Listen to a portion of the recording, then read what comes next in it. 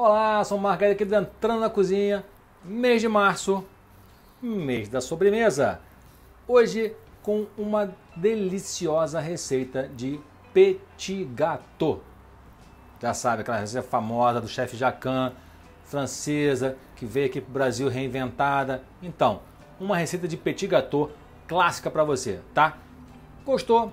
Se inscreve aqui no canal, aquele sininho, ó, clica no sininho, assina todas as notificações para não perder nenhum vídeo da gente e ficar sempre por dentro de todas as nossas novidades. E aqui, ó, nas redes sociais, o arroba entrando na cozinha, no Facebook e também lá no Instagram. Bora para a receita.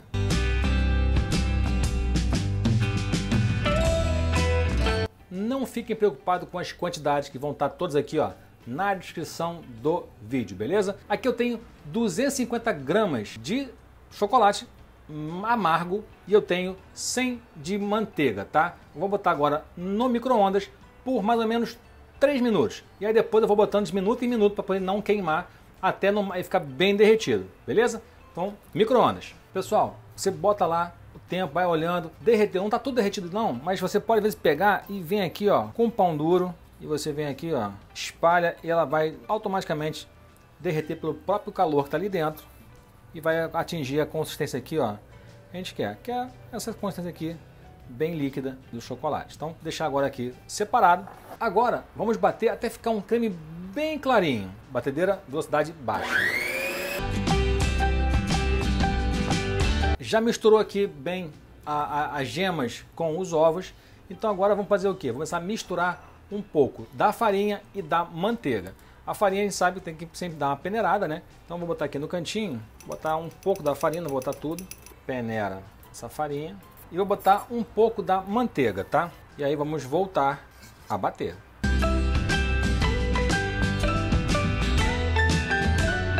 Então agora vamos colocar o resto da manteiga e o resto da farinha.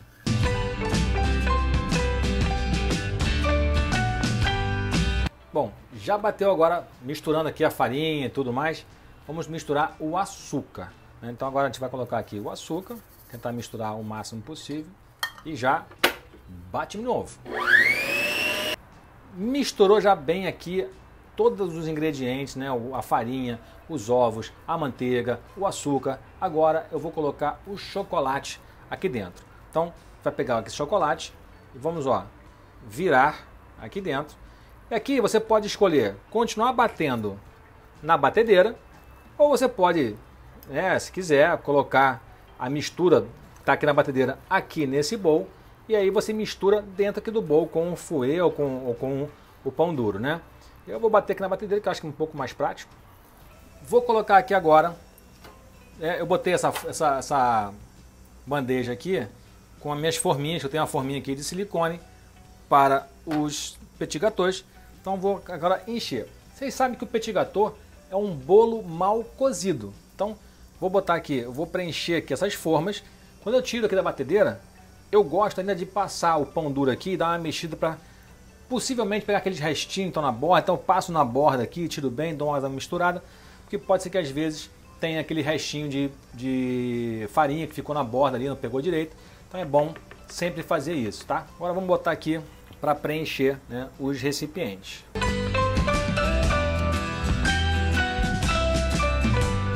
Agora nós vamos levar esse bolo ao forno por 8 a 10 minutos a 200 graus.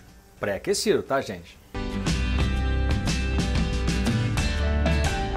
Bom, então vamos desenformar, botar aqui uma tábua em cima e a gente vai aqui ó, girar. Saíram bem bonitos. Algum como virei muito rápido, eu acabei virando ele, bateu, acabou estourando um pouquinho, mas ficou perfeito. Então agora vou pegar aqui umzinho, vou colocar aqui no prato.